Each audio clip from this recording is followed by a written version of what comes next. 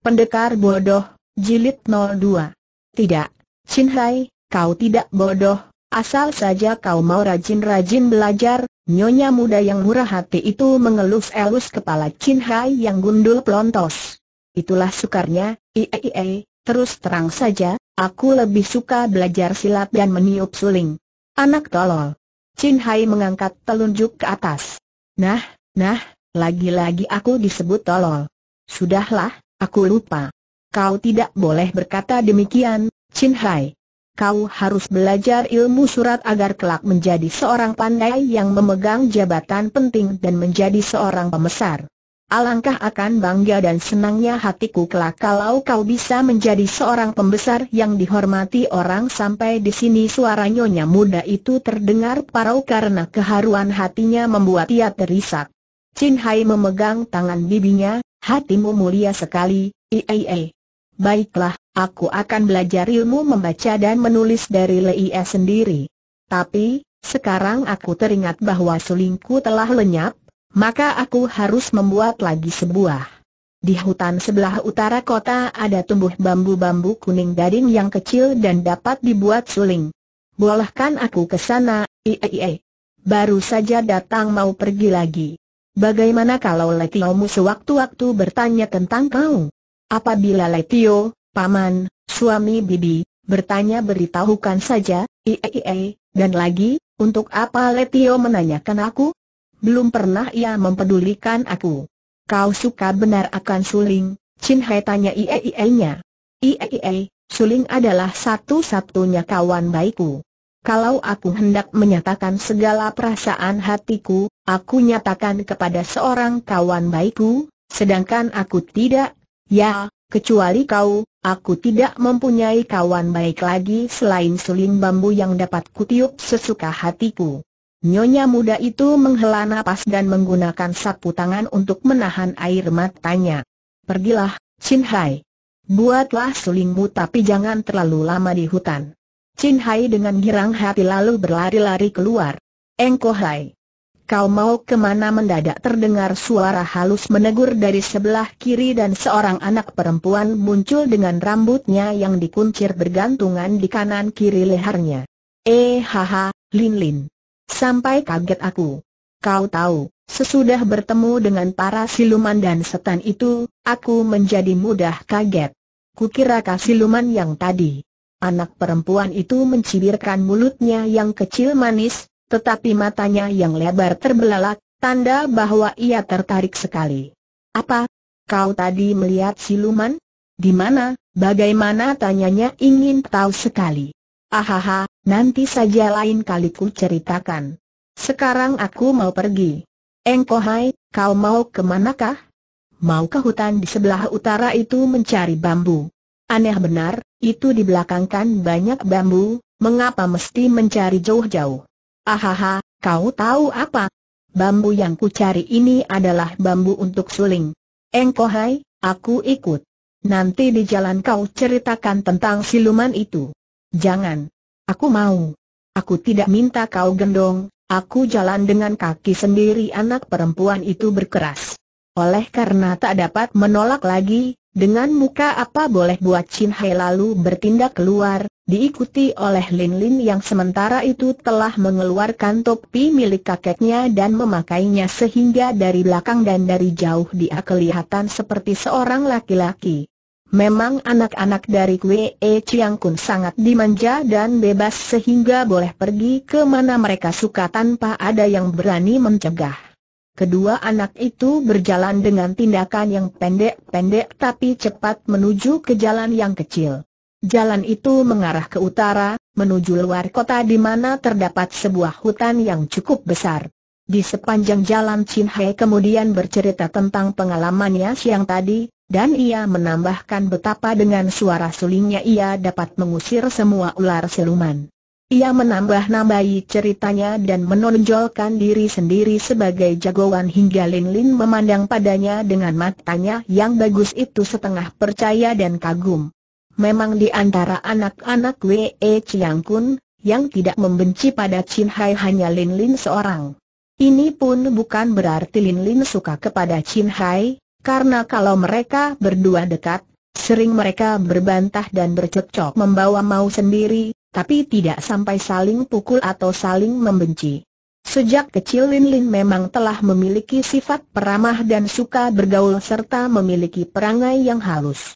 Pula anak ini sangat cerdas dan mempunyai bakat dalam ilmu silat sehingga pada saat itu biarpun usianya belum lebih dari lima tahun, ia telah mempelajari dasar-dasar ilmu silat. Engkohai, itu yang kita tuju sudah tampak. Hayo kita balapan lari ke sana. Chin Hai memandang Lin Lin dengan senyum mencemooh. Tapi ia menjawab juga, boleh, hayo kita mulai. Satu, dua, tiga. Dan larilah ia secepatnya untuk mendahului Lin Lin yang ingin meninggalkan Lin Lin sejauh mungkin supaya ia dapat sampai di hutan lebih dahulu dan menanti anak perempuan itu sambil mentertawakannya. Pada waktu ia menengok, tidak taunya ternyata Lin Lin telah lari di sebelahnya, bahkan perlahan-lahan tapi tentu mulai menyusulnya. Dan yang membuat ia heran adalah kedua kaki Lin Lin tampaknya begitu ringan dan langkahnya lebar dan tinggi. Kini Lin Lin sudah mendahuluinya dan anak perempuan itu menengok sambil tersenyum manis tapi yang menyakiti hati Chin Hai karena dianggapnya senyum itu mengejeknya. Ia merapatkan gigi dan mempercepat larinya hingga benar-benar saja ia bisa menyusul lagi dan mereka lari berendeng. Akan tetapi, tidak seperti kelihatannya, hutan yang di depan itu ternyata bukanlah dekat, jauhnya tak kurang dari setengah li hingga ketika mereka tiba di hutan dengan berbareng, Chin Hai membuka mulutnya dan dadanya turun naik karena ia terengah-engah bagaikan ikan dilempar di pasir panas. Sebaliknya, Lin Lin hanya mengeluarkan peluh di leher dan di dahinya, tapi napasnya biasa saja. Tentu saja hal ini tidak mengherankan, karena anak perempuan itu semenjak kecil sudah dilatih oleh Tan Kau Su, guru silat Tan, dan juga telah diberi latihan napas oleh ayahnya sendiri. Sedangkan Chin Hai hanya lari sekuatnya dan mempergunakan tenaganya tanpa disesuaikan dengan jalan napas, karena ia tak pernah diberi latihan dasar pelajaran silat.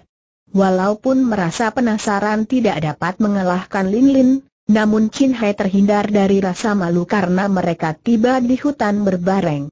Tak kusangka, Lin Lin, larimu secepat kelinci katanya setelah napasnya pulih kembali. Lin Lin tersenyum. Dan larimu seperti kuda, keduanya tertawa. Di mana tempat bambu yang kau maksudkan itu? Tanya Lin Lin sambil memandang ke sekelilingnya, takut-takut karena hutan itu memang besar dan agak gelap sebab matahari telah mulai turun. Di sebelah kiri sana, Hayo Chin Hai mengajak kawannya. Betul saja, tidak jauh dari sana terdapat rumpun bambu kuning gading yang bagus dan kecil-kecil serta lurus batangnya. Tapi tiba-tiba Chin Hai teringat bahwa ia tidak membawa pisau atau senjata tajam lainnya. Bagaimana ia harus mengambil itu? Sementara itu karena berada di bawah pohon-pohon besar, keadaan makin gelap hingga mereka menjadi cemas dan menyangka bahwa senja sudah tiba. Chin Hai tidak berpikir panjang lagi, maju dan memegang batang bambu yang diinginkan lalu mencabut sekuat tenaganya. Namun sia-sia saja karena bambu itu banyak sekali akarnya dan kuat pula. Jangankan tenaga seorang anak-anak seperti Chin Hai, biar seorang dewasa sekalipun belum tentu akan dapat mencabut sebatang bambu dari rumpunnya. Betapapun juga, Chin Hai mempunyai kemauan keras dan pantang mundur.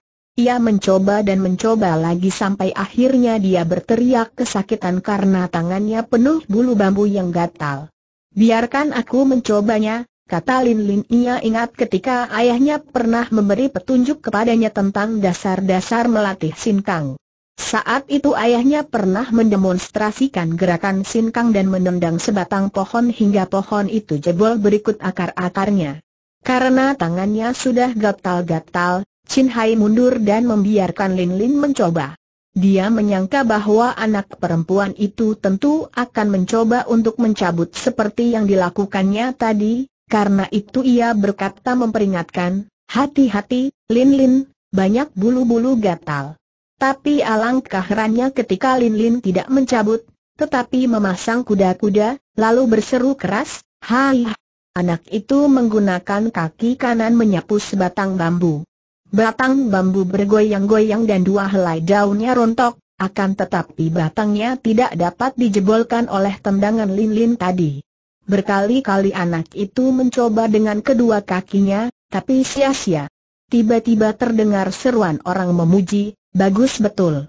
Lin Lin dan Chin Hai terkejut dan menengok.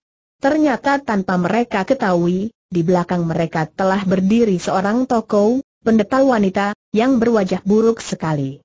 Kulit muka tokoh itu hitam seperti pantat kuali, sedangkan pipinya telah kisut berkerut-kerut dan matanya sebelah kanan buta.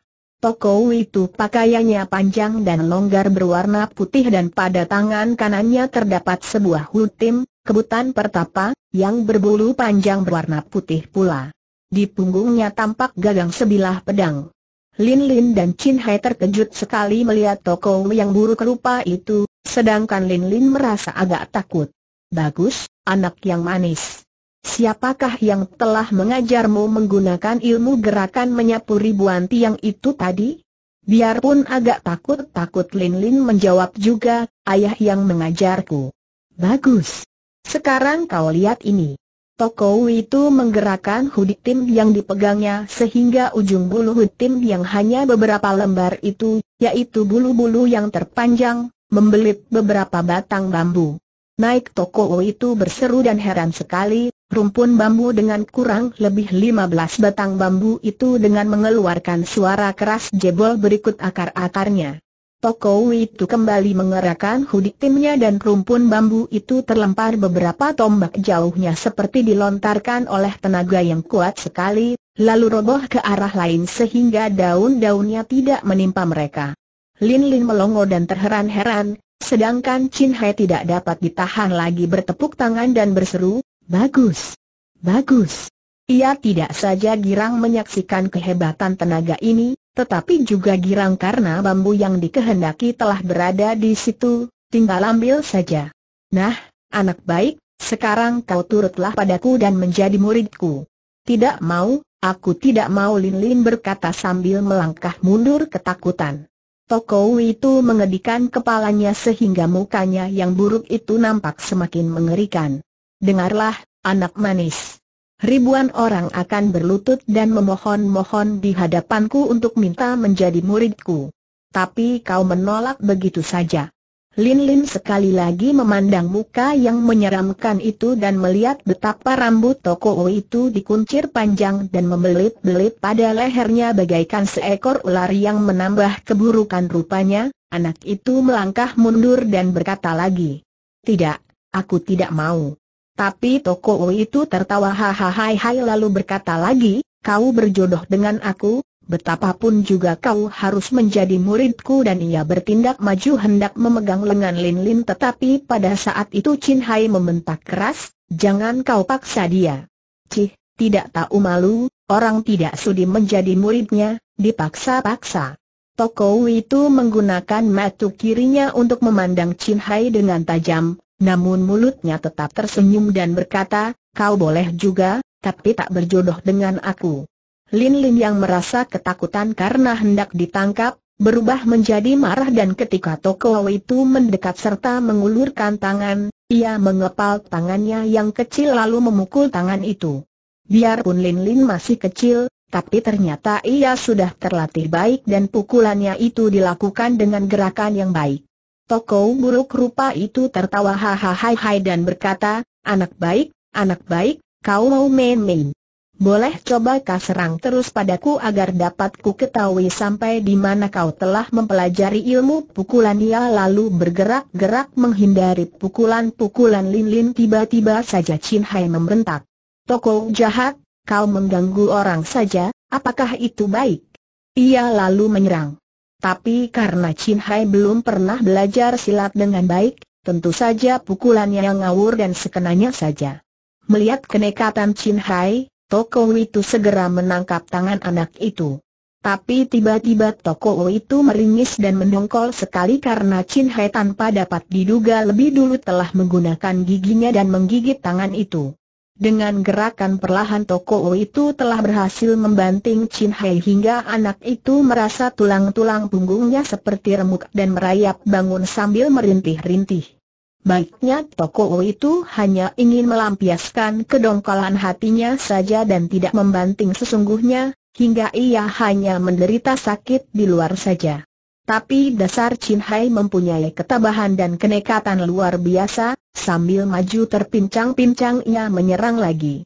Untuk kedua kalinya Chin Hai terbanting ke tanah setelah kena ditolak pundaknya oleh jari telunjuk toko itu, Sementara itu Lin Lin yang menyerang sejak tadi dan selalu memukul dan menendang angin, telah mulai lelah dan berpeluh.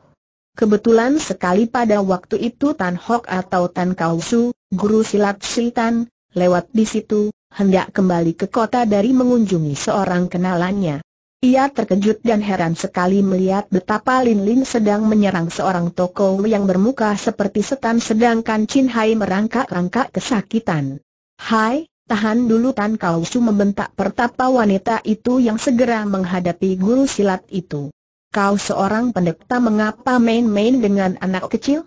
Toko itu tersenyum hingga wajahnya makin buruk saja.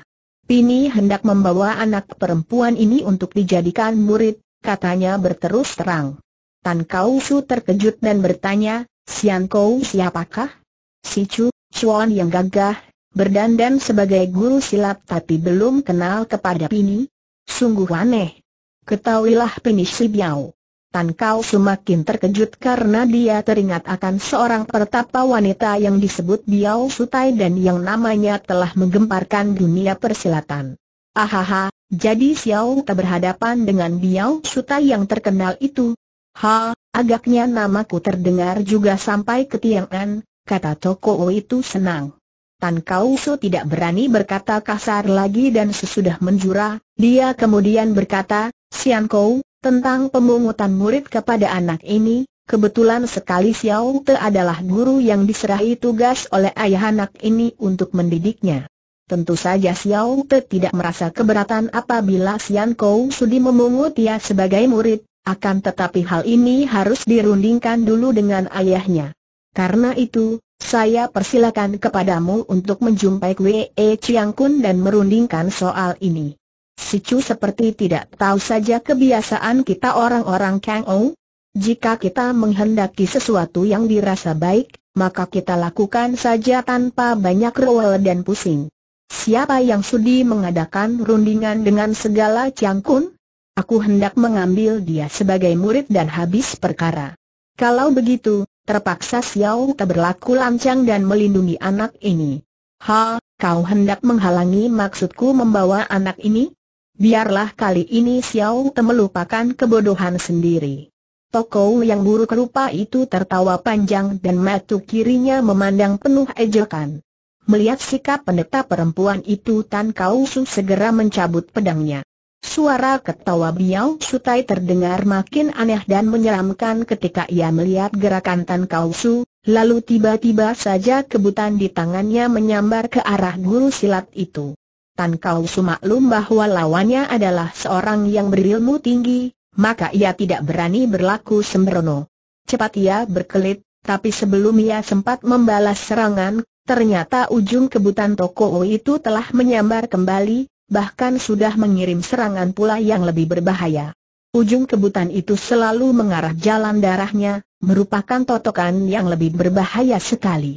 Tan Kau Su cepat menggunakan pedangnya untuk menyabet putus ujung Huditim, namun tiba-tiba Huditim itu bagai bernyawa tahu-tahu telah melibat pedangnya dan sekali Toko itu menggerakkan tangannya, pedangnya sudah terampas tanpa dia dapat bertahan pula. Dan pada saat itu juga, Kembali ujung hudik tim telah menyambar pundaknya. Tan Kau Su merasa betapa tubuhnya menjadi kesemutan akibat urat darahnya tersentuh sehingga tidak ampun lagi ia jatuh dengan tubuh lemas tak bertenaga. Ketika ia merayap bangun lagi, ternyata toko itu telah lenyap, begitupun Lin Lin telah hilang pula.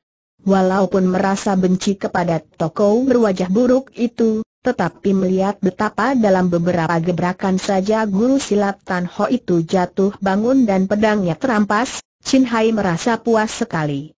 Ia memang sangat benci terhadap guru silat ini yang tidak pernah mengajar silat padanya, sebaliknya malah sering kali memukul dan mengadunya dengan Kue E Tiong sehingga ia sering dipukul sampai matang biru.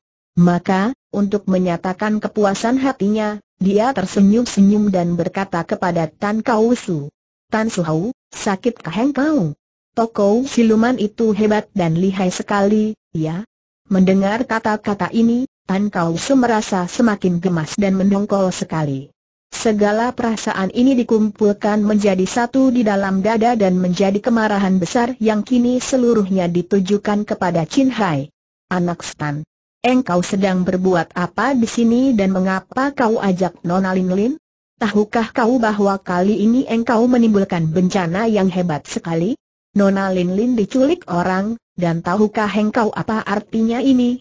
batok kepalamu pasti akan diketok sampai pecah oleh Kwe E Chiang Kun. Bukan aku yang membawa Lin Lin, akan tetapi dia sendiri yang memaksa untuk ikut. Aku hendak mencari bambu ini untuk dibuat suling dan ia ikut padaku. Salahkukah itu? Anak tolol, kalau bukan salahmu, lalu siapa lagi? Tan Suhau, aku sih bukan lawan toko siluman itu. Tetapi engkau adalah guru silat yang katanya mempunyai kepandaian tinggi, kenapa kau biarkan saja Lin Lin diculik olehnya? Mengapa baru satu gebrakan saja kau telah menyerah kalah? Baru saja bicara sampai di sini, tangan Tan Kau Su melayang dan kepala yang gundul itu ditempeleng hingga Chin Hai merasa matanya gelap dan kepalanya terasa berputaran. Ia terhuyung-huyung dan sebuah tendangan membuat ia terlempar dan tertelungkup di atas tanah sampai mengeluarkan suara berdebuk. Malang baginya, sebuah batu menyambut mulutnya hingga bibirnya berdarah. Anak ini marah sekali di dalam hati dan rasa sakit hatinya melenyapkan segala rasa sakit pada tubuhnya. Ia cepat merayap bangun dan berdiri dengan tegak sedangkan sepasang matanya memandang tajam, sedikit pun tidak takut dan jari. Nah, kau baru tahu adat sedikit sekarang setelah ku hajar, ya Tan Hot berkata sambil uring-uringan. Tan Suhu memang beraninya hanya terhadap anak kecil yang tidak berdaya.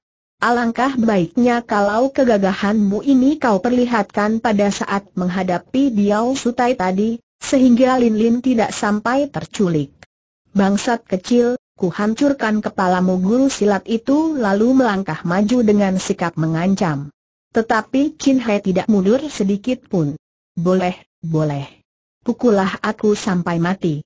Sayang, bibiku tak melihat kelakuanmu ini. Teringatlah Tan Kau Su bahwa anak ini setidak-tidaknya masih menjadi kemenakan dari Kue E Hujan maka ia menahan tangannya yang telah terangkat di atas untuk menjatuhkan pukulan. Ia lalu meludahi kepala anak yang gundul itu sambil membentak. Hayo kita pulang dan kau menjadi saksi utama betapa aku telah membela Nona Lin Lin dengan mati-matian. Kau harus terangkan duduknya perkara yang sebetulnya di hadapan Kwe E Chiang Kun. Chin Hai tak menjawab, tapi segera memungut sebatang bambu kuning. Tan Ho menjadi marah dan ia menyambar tangan anak itu dan diseretnya sambil berlari cepat. Alangkah terkejut dan marahnya Kwe En Liang ketika dia mendengar laporan Tan Ho. Mukanya sebentar merah sebentar pucat ketika Tan Kau Su berkata, Hamba sudah melawan mati-matian untuk mencegah penculikan itu, tapi ternyata Biao Sutai sangat lihai hingga akhirnya pedang hamba dapat terampas dan hamba dibikin tak berdaya. Sebelum hamba dapat mencegahnya, Nona Lin Lin sudah dibawa pergi cepat sekali. Karena sangat marah dan sedih, Kue En Liang menggebrak meja di hadapannya sambil membentak kepada Chin Hai, Chin Hai.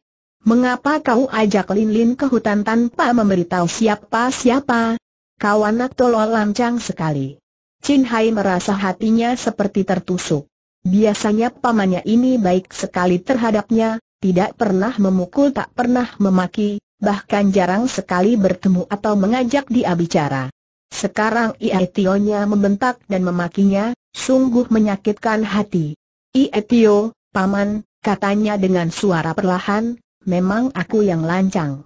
Biarlah sekarang aku pergi mencari adik Lin Lin sampai dapat. Hampir saja Chin Hai mengeluarkan air mata karena hatinya merasa pilu. Dia meraba-raba kepala gundulnya yang masih merah karena ditempeleng oleh Tan Ho tadi. Melihat betapa kepala anak itu merah serta bibirnya pecah-pecah, kemarahan Kue En Liang lantas berkurang, apakah engkau juga dilukai oleh toko siluman itu? Sebelum Chin Hai menjawab, Tan Hok yang merasa khawatir kalau-kalau anak itu akan mengadu, cepat berkata, apabila hamba tidak lekas-lekas datang, tentu kemenakan Chiang Kun ini akan mendapat celaka pula. Chin Hai melirik kepada guru silat itu dengan pandangan mati mengejek. Benar, Ietio, sayang sekali bahwa baru maju segerakan saja, Tan Suhu yang lihai ini telah terampas pedangnya dan bahkan ia dibikin jatuh bangun oleh ujung kebutan toko siluman itu. Begitu lihaikah dia tanya Kwe Liang kepada Tan Hok. Memang dia luar biasa lihai, dan hamba bukanlah lawannya, Tan Hok mengaku dengan muka merah karena malu, dan kebenciannya terhadap Chin Hai semakin bertambah. Karena kejadian itu, Kwe En Liang merasa sedih sekali. Kue E Hujin yang diberitahu oleh pelayan akan peristiwa itu segera berlarian keluar dan sambil menangis terseduh-seduh ia duduk di sebelah Kue E Chiang Kun.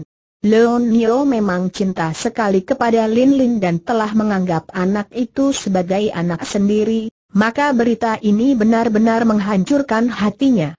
Chin Hai, kau, kau anak tolol. Bodoh dan lancang. Mengapa kau mengajak Lin Lin pergi ke hutan? bukankah engkau berpamit padaku, tetapi mengapa engkau tidak menyatakan hendak pergi dengan Lin Lin Bibi ini menegur Chin Hai. Ie, sungguh aku menyesal sekali, Ie. Bukanku sengaja membawa dan mengajak Lin Lin, tetapi ketika aku hendak keluar, adik Lin Lin melihat dan bertanya. Aku mengaku terus terang bahwa aku hendak mencari bambu kuning di hutan dan ia memaksa hendak ikut. Sementara itu, melihat bahwa nyonya muda itu keluar, Tan Hok segera mengundurkan diri. Kue En Liang segera memerintahkan para pengawalnya untuk mengejar toko itu, dan ia sendiri naik kuda mencari sampai jauh ke dalam hutan. Biarpun kepada bibinya sendiri, Chin Hai tidak pernah menceritakan mengenai perlakuan Tan Kau Su yang sewenang-wenang padanya. Anak ini memang tak suka mengadu dan segala hal yang menyakitkan hati hanya ia pendam di dalam dada sendiri saja. Ia selalu ingat akan ujar-ujar yang bermaksud, balaslah kebaikan dengan kebaikan pula dan kejahatan dengan keadilan. Maka dia menganggap kurang adil apabila ia membalas kejahatan Tan Kausu dengan mengadukan hal itu kepada IAIN-nya atau IATO-nya itu kurang adil dan kurang tepat karena ia yang dijahati, maka baru adil kalau ia sendiri yang membalasnya.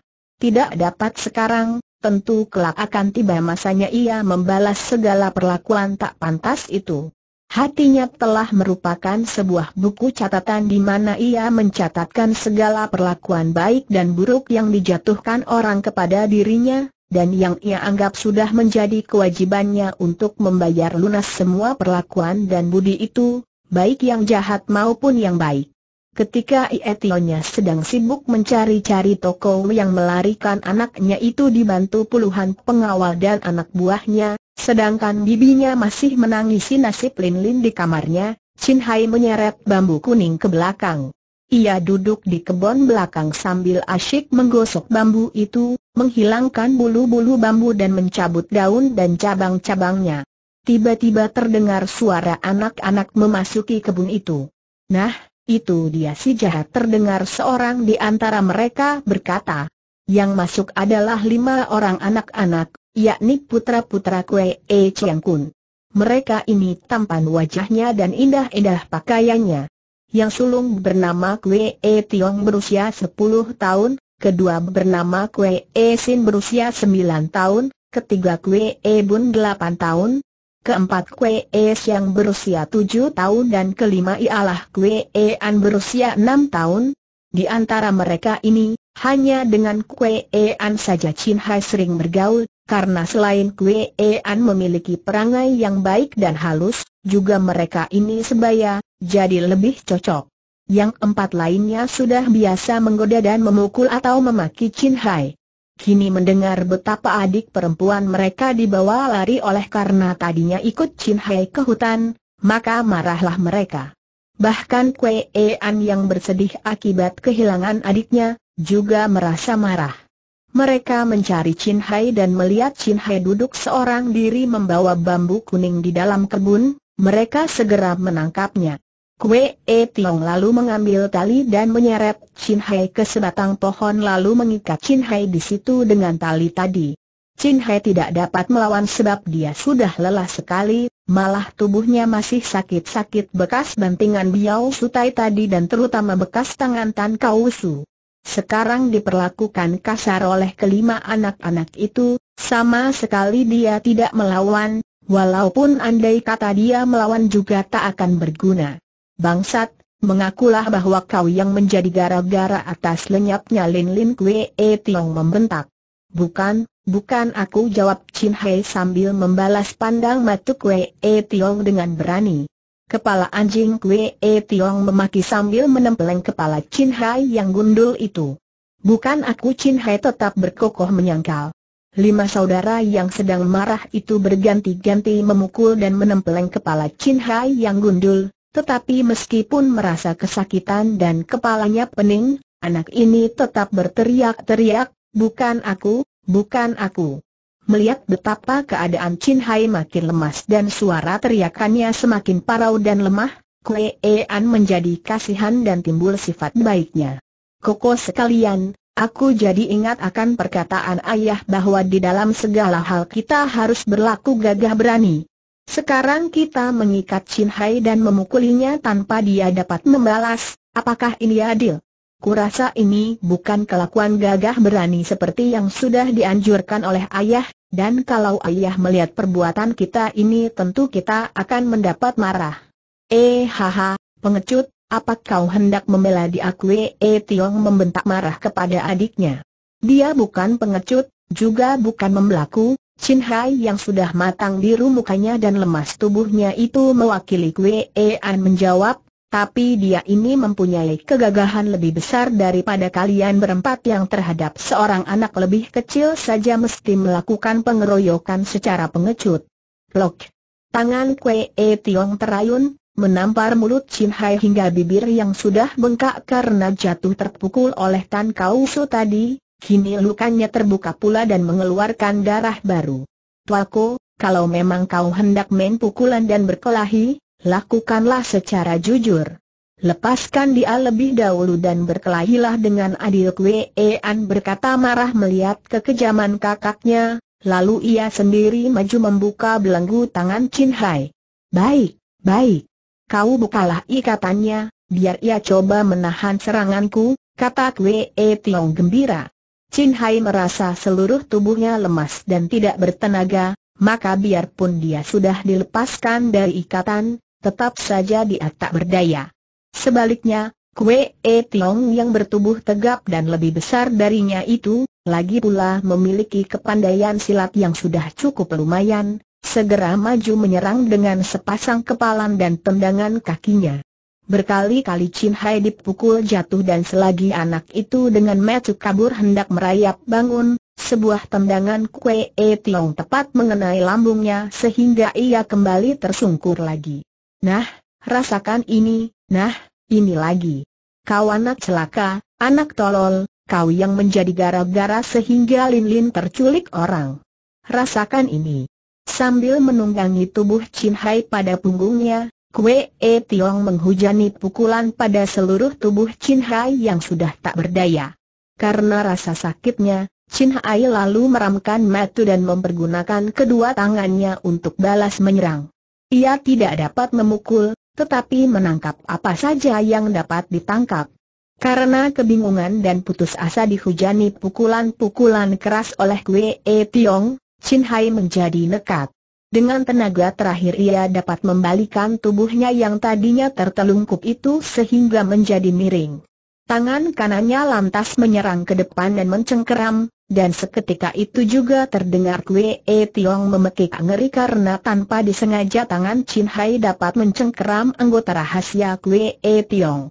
Mendengar jeritan ini barulah Chin Hai tahu bahwa Kue E Tiong kesakitan hebat.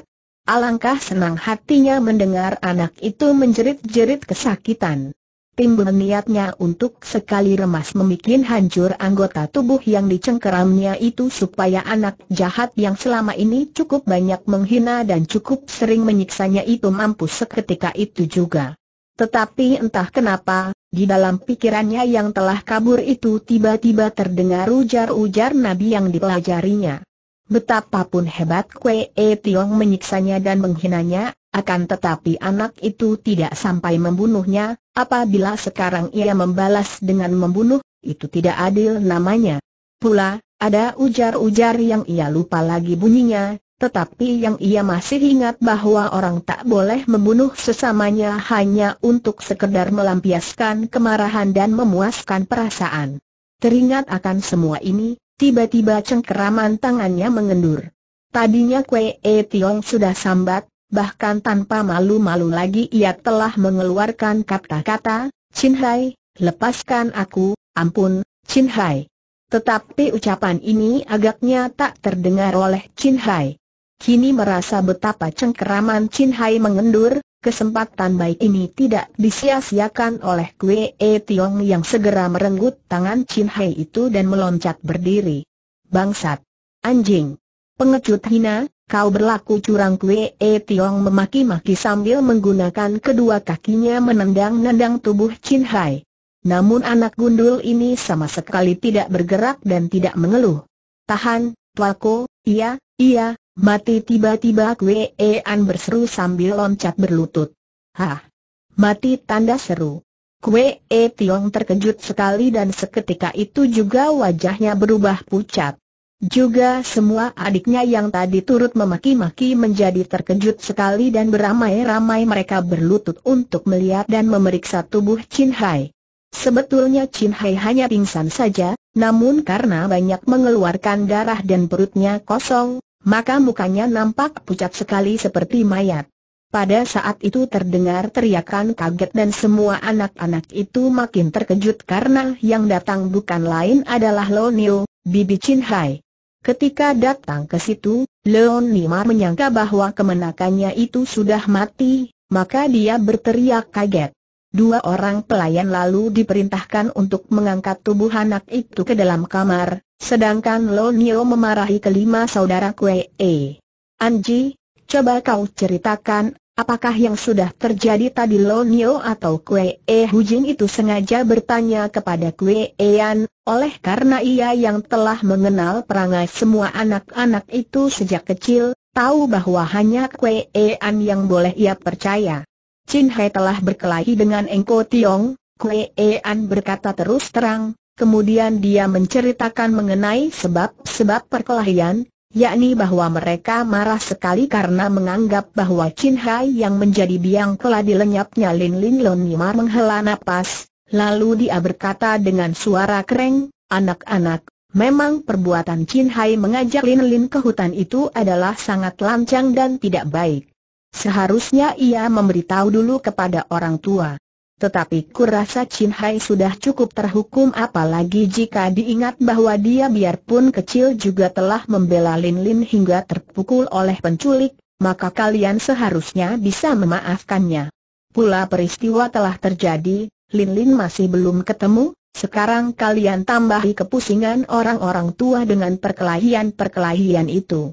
Sungguh tidak baik sekali. Pada saat itu Kue En Liang kembali dari pengejarannya kepada penculik itu. Wajahnya muram dan tampak lelah sekali. Bagaimana, terdapatkah Kue E Hujain bertanya dengan muka cemas. Kue E Chiang Kun menggeleng-gelengkan kepala dan menghela napas, nampaknya susah sekali kemudian melihat anak-anaknya yang berada di situ seperti orang ketakutan. Anak-anak ini sedang bekerja apa di sini? Mengapa tidak berada di kamar dan belajar? Terpaksa Lonio yang tidak pernah membohong segera menceritakan bahwa ia baru saja menegur mereka karena berkelahi dan mengeroyok Chin Hai sehingga anak itu jatuh pingsan. Muka Kwe En yang semakin muram mendengar ini, Lalu ia membentak mereka supaya pergi ke kamar masing-masing. Melihat kemarahan serta kesedihan suaminya ini, dengan manis budi Lon Nimar mencoba menghiburnya. Tapi ayah yang kehilangan anak kesayangannya itu hanya menggunakan kedua tangan menutupi mukanya dan berkali-kali menghela napas. Tadi aku mendengar bahwa Biao Sutai yang menculik Lin Lin adalah seorang wanita gagah dan tokoh yang ternama sekali, maka kurasa pertapa wanita itu tidak mempunyai maksud buruk. Barangkali dia memang benar-benar senang kepada Lin Lin dan hanya bermaksud untuk menurunkan ilmu silatnya dan segala kepandaiannya pada anak kita, Kue E Hujin menghibur. Sesudah berulang-ulang kali menghela napas, Kue E Liang hanya menjawab perlahan, mudah-mudahan begitu. Karena apabila siluman wanita itu sampai berani mengganggu selembar rambut saja dari anakku, maka dia harus mengganti dengan selembar jiwanya. Dan Panglima gagah ini mengertak-ngertak gigi serta mengepal-ngepal tinju tangannya, sedangkan kedua matanya mengeluarkan sinar mengancam. Istrinya lalu menghiburnya lagi dan mengajak suaminya yang sedang bersedia itu masuk ke dalam gedung karena di luar sudah mulai gelap. Malam itu keadaan di gedung keluarga Kue E sunyi saja. Biasanya pada malam hari terdengar suara anak-anak menghafal sastra mereka, tetapi malam ini sengaja dilarang mengeluarkan suara keras. Sore-sore Kwe E Tiong dan keempat adiknya telah pergi tidur sambil membicarakan Chin Hai dengan suara berbisik. Chin Hai sendiri berbaring terlentang dengan mata, terbelalak memandang ke langit-langit kamar dan pikirannya melamun jauh sekali.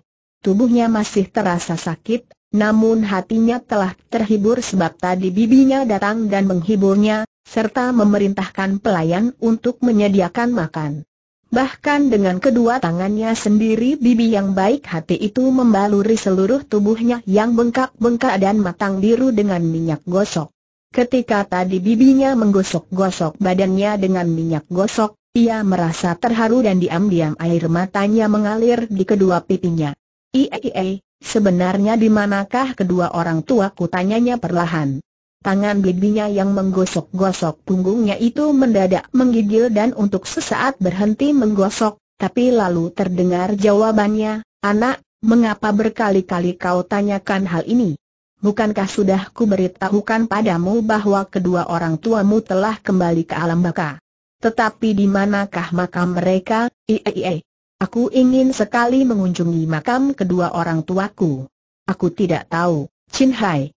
Mengapa kau tidak tahu Ie Ie? Bukankah kau adik mendiang ibuku? Sudah berapa kali ku katakan bahwa aku tidak tahu, Chin Hai. Sudahlah, jangan kau terus mendesak. Kau harus mengasuh dan aku akan kembali ke kamar, Ie Tiomu masih sangat bersedih. Nyonya muda itu mengelus-elus kepala kemenakannya, kemudian meninggalkan kamar itu. Tetapi sebelum melangkah keluar pintu, Chin Hai menegur. Ie yang baik. Nyonya muda itu berhenti lalu menengok, dan Chin Hai sempat melihat betapa Ie-nya telah mengalirkan air mata. Setidak-tidaknya beritahukan padaku siapa nama dan si ayahku. Kau si Kue E juga, bukankah sudah pernah ku beritahukan padamu? Si Kue E. Ahaha, tak mungkin, ahaha, kenapa kau membohongi, Ie yang baik. Aku bukan si Kue E tetapi Ie-nya sudah melangkah keluar dari pintu dan Chin Hai mendengar suara sandal bibinya itu makin menjauhi kamarnya.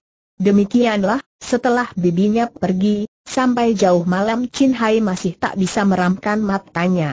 Bibinya telah membohong padanya ketika menerangkan bahwa dia si Kue E.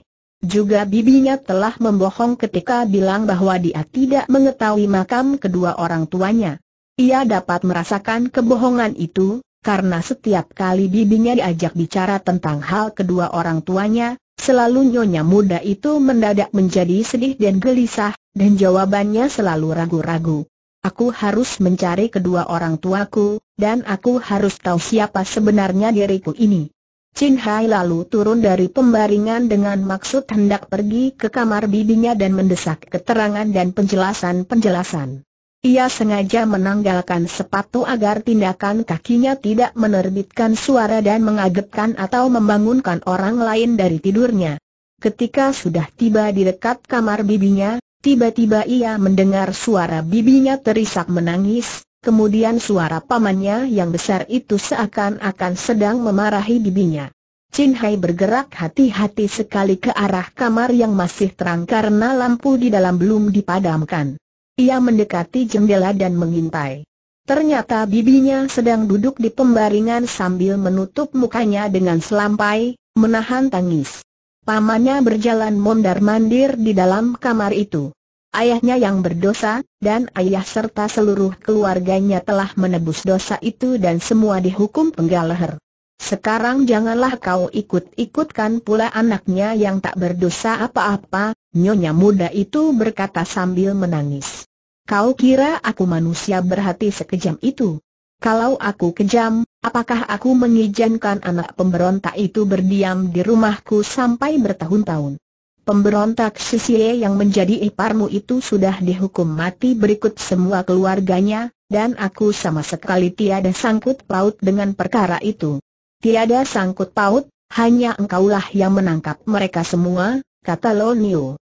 Apa salahnya? Bukankah itu sudah menjadi kewajibanku? Jangankan orang sisia itu yang tidak punya hubungan apa-apa dengan aku, biarpun andai kata adikku sendiri yang menjadi pemberontak, tentu aku akan menangkapnya. Inilah jiwa seorang gagah. Harus kau ingat bahwa yang tiap hari kita makan dan pakaian yang tiap hari kita pakai ini adalah hasilku mengabdi kepada Raja. Apakah aku hanya boleh menerima hasil saja tanpa harus memenuhi kewajiban? Pula, bukan aku yang ingin dia dihukum, tetapi ini perintah atasan. Tugas tetap tugas, Perasaan pribadi jangan dibawa-bawa agaknya Panglima itu marah betul karena terdorong kesedihan hatinya kehilangan Lin Lin Hening sejenak kecuali Isak Lonio dan helaan napas Kwe En Liang, kemudian baru terdengar lagi nyonya muda itu berkata agak sabar. Aku tahu semua itu, dan aku tidak salahkan kau. Hanya mengenai anak ini, Chin Hai yang malang, kau berlakulah murah hati sekali. Istriku, betapapun juga kau pertimbangkanlah baik-baik. Engkau lebih sayang Chin Hai daripada suamimu. Aku benci Chin Hai, juga aku tidak menghubungkan dia dengan orang tuanya. Akan tetapi, semenjak Lin Lin hilang, sampai di sini suaranya sember dan sedih, aku tak tahan melihat muka Chin Hai lagi. Betapapun juga, Lin Lin diculik orang karena ikut pergi dengan Chin Hai. Perasaan ini tidak akan pernah hilang dari hatiku yang menuduh dan mempersalahkannya, maka tidak baik kiranya apabila anak itu berada di depan mataku. Tidak baik untuknya dan tidak baik untukku sendiri. Dia harus pergi dari sini, titipkanlah kepada keluarga lain. Semenjak tadi, di luar jendela Chin Hai mendengar dengan air mata, turun bagaikan hujan membasahi kedua pipinya. Orang tuanya, juga semua keluarganya, mendapat hukuman penggal kepala. Alangkah hebatnya. Ayahnya yang sisia itu disebut-sebut sebagai pemberontak. Apakah pemberontak itu? Perasaannya yang terasa perih itu semakin hancur mendengar betapa bibinya sampai bertengkar dengan Iationya karena dia. Pula, Hatinya sakit sekali mendengar betapa Iationya kini membencinya karena hilangnya Lin Lin dan Iationya sudah mengambil keputusan supaya ia pergi dari situ. Chin Hai menggigit bibirnya yang tadinya mewek menangis itu. Timbul perasaan angkuh di dalam kepalanya yang gundul. Orang tidak menghendaki dia di situ, untuk apa menanti lebih lama lagi? Ia tak perlu minta-minta ampun dan mohon agar diperkenankan tinggal terus di situ. Dia harus pergi karena dia bukan keluarga Kue. Hanya Ie lah yang selama ini menahan ia berada di tempat itu, karena itu ia amat mencintai Ie-nya yang berbudi baik itu. Dengan pikiran kacau balau Chin Hai lalu pergi dari situ. Dengan hati-hati sekali ia hendak keluar dan minggat dari gedung keluarga Kue. Dia benci sekali kepada Kue En Liang, Sebab dari mulut pamannya itu sendiri dia tadi mendengar bahwa yang menangkap orang tuanya adalah pamannya itu sendiri. Ia memasuki kamarnya dan mengambil semua pakaiannya, lalu dibuntal. Tetapi tiba-tiba ia teringat akan kata-kata pamannya tadi yang menyatakan bahwa semua pakaian yang dipakai itu adalah hasil pengabdiannya kepada raja. Dan karena pengabdian kepada raja itulah yang memaksa pamannya itu menangkap dan membasmi seluruh keluarga Xie. Tiba-tiba timbullah rasa jijik dan bencinya kepada semua pakaiannya dan dilemparkannya buntalan itu jauh-jauh dengan perasaan jijik. Dia tak akan membawa pakaian pemberian pamannya. Lalu dia teringat akan pakaiannya sendiri. Yang dipakainya ini pun pakaian pemberian bibinya yang berarti pemberian pamannya pula. Dengan hati panas dan penuh marah ia lalu menanggalkan semua pakaiannya itu dan dengan telanjang bulat ia lari keluar.